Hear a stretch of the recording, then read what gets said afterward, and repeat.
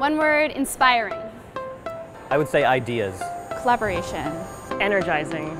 Net impact is helping me join together with other like-minded individuals and realize that business as a force of good isn't just something on the fringe. It's not even about myself. It's not about how do I be better. It's really about how do we make the world better. What's the best way to do that? It's helping me make the right connections. I'm learning those skills and those tools to be able to look back and say, wow, I made a difference or like I made an impact.